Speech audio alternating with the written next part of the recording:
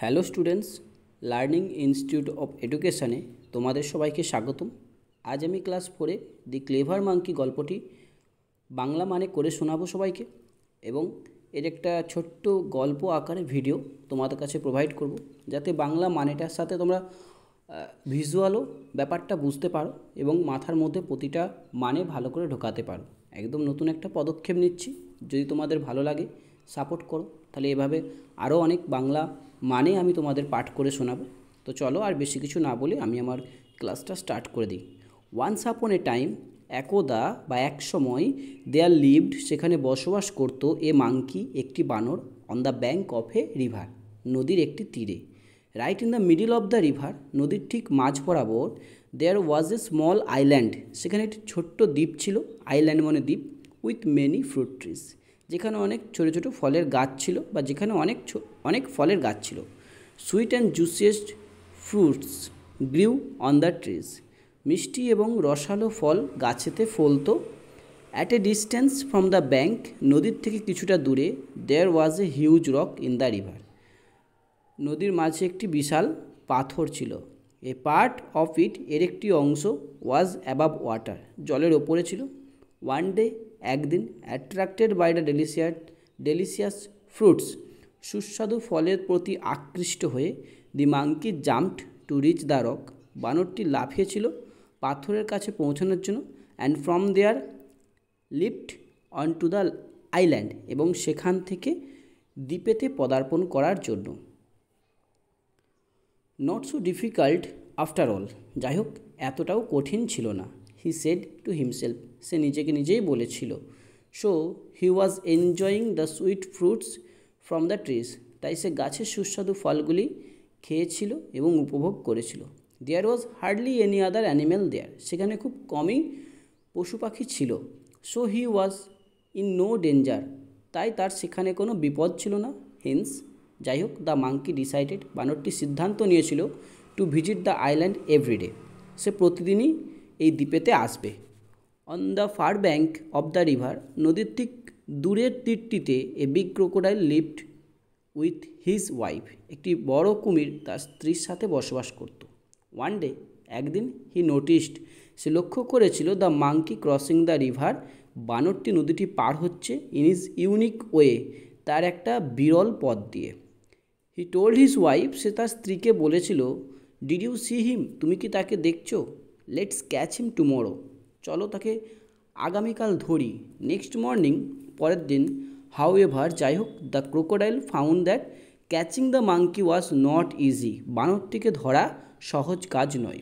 The monkey landed on the rock বানরটি পাথরের ওপরে পদার্পণ করে and in a flash jump এবং একটি বড় রকম লাভ দিয়ে off on to the island সোজা এসে পড়ে দ্বীপের ওপরে হাইডিং বিহাইন্ড দ্য রক পাথরের পেছনে লুকিয়ে the crocodile could only watching কুমিরটি শুধুমাত্র তাকে দেখত। Return home without his catch সে তাকে না ধরেই ফিরে গিয়েছিল। ডেজ ওয়েট বাই দিন চলে গিয়েছিল। The crocodile thought of many plans to catch the monkey কুমিরটি অনেক পরিকল্পনা করেছিল বানরটিকে ধরার জন্য বাট নাথিং ওয়ার্কড কিন্তু কোনো কিছু কাজ করল না।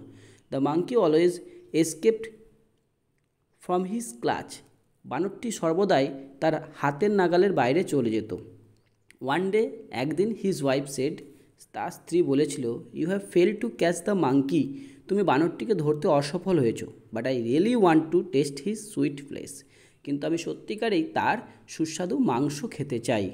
সো দিস টাইম তাই এই সময় you must follow my plans তুমি আমার পরিকল্পনাগুলি মেনে চলবে। দি ক্রোকোডাইল সেট কুমিরটি বলেছিল রাইট ঠিক আছে। Tell me the plan then তাহলে তোমার পরিকল্পনাটি আমাকে বলো। The monkey jumps on the on that big rock in the river বানরটি ওই নদীর বড় পাথরের উপরে লাফিয়েছিল। Set the set the wife the স্ত্রী বলেছিল you must lie still on the rock তোমার অবশ্যই পাথরের উপরে স্থির হয়ে শুয়ে থাকতে হবে। When he jumped upon you যখন সে তোমার উপরে লাফাবে thinking you to be a rock তোমাকে একটি পাথর ভেবে you can catch him easily then তাহলে তুমি তাকে সহজেই ধরতে পারবে। হোয়াট অ্যান আইডিয়া কি বুদ্ধি! I shall go I shall get him tomorrow for sure আমি তাকে পরের দিন অবশ্যই ধরে আনব। Said the crocodile with joy কুমিরটি আনন্দের সাথে বলেছিল। নেক্সট মর্নিং পরের দিন অ্যাজ ইউজুয়াল যথারীতি the monkey jumped on to the rock বানরটি পাথরের উপরে লাফিয়েছিল and landed on the river island এবং দ্বীপের উপরে পদার্পণ করেছিল। সিং দিস এটা দেখে the crocodile swam to the rock কুমিরটি সাঁতারে পাথরের কাছে চলে গিয়েছিল। He lay still on the rock সে পাথরটির ওপরে স্থির হয়ে শুয়েছিল keeping his head and tail well under water জলের নিচে তার মাথা এবং লেজকে ভালোভাবে রেখে only his back was above water শুধুমাত্র তার পিঠটি জলের উপরে ছিল and it looked like a part of the rock এবং এটিকে একটি পাথরের অংশের মতো লাগছিল। After having a good meal ভালো খাবার খাওয়ার পর the monkey decided to return বানরটি সিদ্ধান্ত নিয়েছিল ফিরে আসবে। He looked at the rock সে পাথরটির দিকে তাকিয়েছিল স্ট্রেঞ্জ অদ্ভুত the rock has become so large পাথরটি খুব বড় হয়ে গেছে হি থট সে ভেবেছিল। It was not so big when I came here. এটা তখন এত বড় ছিল না যখন আমি এখানে এসেছিলাম। পসিবিলি সম্ভবত দ্যাট ক্রোকোডাইল ওই কুমিরটি is playing a trick again আবার কোনো খেলা খেলছে। হি ইজ লাইং দেয়ার। সে সেখানে শুয়ে আছে, pretending to be a rock, একটি পাথরের মতো হয়ে। The monkey made up his mind very quickly. বানরটি তার বুদ্ধি খুব তাড়াতাড়ি এঁটেছিল। হি সাউটেড সে চিৎকার করছিল হ্যালো রক হ্যালো মহাশয় পাথর। মাই ডিয়ার ফ্রেন্ড আমার প্রিয় বন্ধু you look quite big today তোমাকে আজ খুব বড় লাগছে। And you did not welcome me today এবং তুমি আজ আমাকে স্বাগত জানাওনি অ্যাজ ইউ অলওয়েজ ডু যেটা তুমি সর্বদাই করো। Are you angry with me তুমি কি আমার উপরে রেগে আছো? হিয়ারিং হিম তার কথা শুনে দ্য ক্রোকোডাইল থট কুমিরটি ভেবেছিল perhaps this rock really talks to the monkey সম্ভবত পাথরটি সত্যিকারেই হনুমানটির সাথে বা বানরটির সাথে কথা বলে। I should speak to him আমার তার সাথে কথা বলা উচিত।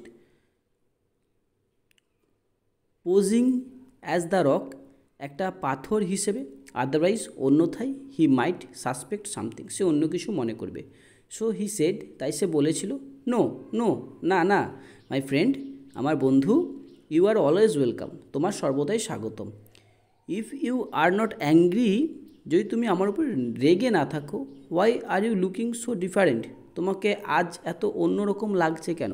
সেট দ্য মাঙ্কি বানরটি বলেছিল at this the crocodile got impatient এই মুহূর্তে কুমিরটি অস্বস্তি অনুভব করছিল।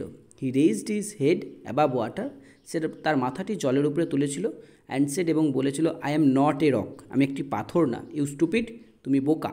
আই এম এ ক্রোকোডাইল আমি একটি কুমির. I am going to eat you up very soon আমি তোমাকে খুব শীঘ্রই খেতে চলেছি। দ্য মাঙ্কি রিয়েলাইজড বানরটি অনুভব করেছিল দ্যাট যে he could not return home like all other days সে অন্যান্য দিনের মতো কিন্তু আজ বাড়ি ফিরে যেতে পারবে না। So he made another plan তাই সে অন্য একটি পরিকল্পনা করেছিল। হি সেড সে বলেছিল মাই ফ্রেন্ড ক্রোকোডাইল আমার প্রিয় বন্ধু crocodile I am so sorry আমি খুবই দুঃখিত। Why did you to why did you do all this to catch me তুমি এত কিছু কেন করতে গেলে আমাকে ধরার জন্য? Just open your mouth wide তোমার মুখটিকে তুমি বড় করে খুলো। I will jump straight into your mouth আমি সোজাসুজি তোমার মুখের ভেতরে লাফিয়ে যাব the monkey had observed earlier বানরটি আগে দেখেছিল যে দ্যাট যে whenever the crocodile opened his mouth যখন কুমিরটি তার মুখ খুলে his eyes would shut completely তার চোখগুলি পুরোপুরিভাবে বন্ধ হয়ে যায়। But the crocodile did not know this কিন্তু কুমিরটি এটা জানতো না। He was happy at the monkey's suggestion সে বানরটির কথায় খুবই খুশি হয়েছিল। He raised himself on on the rock সে পাথরের উপরে নিজেকে তুলে নিয়েছিল। With his mouth wide open তার মুখটিকে বড় করে খুলে অ্যান্ড হিজ আইসেস ক্লোজড এবং তার চোখ বন্ধ হয়ে গেছিল। The clever monkey leapt on the crocodile's head বুদ্ধিমান বানরটি কুমিরের মাথার উপরে লাফ দিয়েছিল and then quickly jumped back to the river bank এবং তারপর তাড়াতাড়ি করে সে নদীর তীরে ঝাঁপ দিয়েছিল। From the from the safety of his home upon a riverside tree তার নদীর ধারে আশ্রয়, একটি গাছের আশ্রয় থেকে, নিরাপদে থেকে the monkey laughed at the crocodile বানরটি কুমিরের উপরে হাসছিল অ্যান্ডসেড এবং বলেছিল ইউ ফুলিশ ক্রোকোডাইল তুমি বোকা কুমির। You can never catch me তুমি কখনোই আমাকে ধরতে পারবে না। No doubt you are bigger than me কোনো সন্দেহ নেই যে তুমি আমার থেকে অনেক বড় but you are a bigger fool too কিন্তু তুমি একজন বড় বোকাও। Adapted from the best of Jataka tales গল্পটি নেওয়া হয়েছে জাতকের গল্প থেকে। জাতকের গল্প আমাদের ছোটোবেলাকার নীতিকথার গল্প। শুধু সেই নীতিকথার গল্পেরই একটা ছোট্ট পার্ট যদি তোমাদের ভালো লাগে গল্পটি, অবশ্যই তোমাদের কাছে অনুরোধ জানাব। আমার চ্যানেলটিকে সাবস্ক্রাইব করো অ্যান্ড পাশে থাকা বেল আইকনটি প্রেস করে দাও যাতে পরবর্তী ভিডিওগুলো তোমরা সবার আগে আমার পেয়ে যাও। Thank you